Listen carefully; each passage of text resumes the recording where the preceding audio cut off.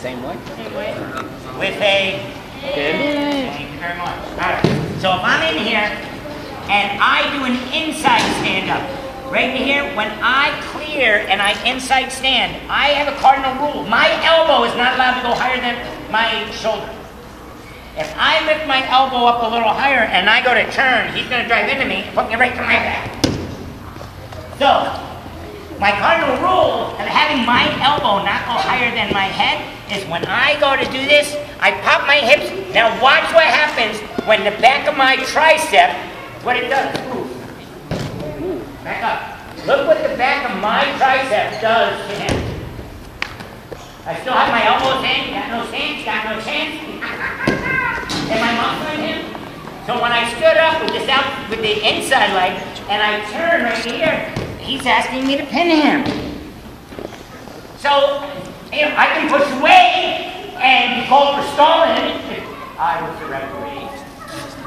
But then he, and I'm not a fan of giving somebody one point if they get away, because I think they're the ones stalling. They're the ones prolonging the match, making everybody stay there, but they didn't want to pin a guy. That's bullcrap. So, when I'm in here, and I come into here, and I pop my hips, and I go like this, my elbow, my tricep is going to extend him all the way planted on that knee. But when I pivot, and he falls, this hand goes around the neck, right here, and I have the crusher. This is tight. Can you talk there? No. Alright? So when, when I'm inside standing and I'm pivoting, my elbow never goes higher. Sometimes I might have to pivot again and use this tricep to extend him. Right? Everybody everybody who's watching that knee, That's how all the weight was planted there. So once I did that inside stand and I pop my hip, and I turn right to here, this is how I'm turning him.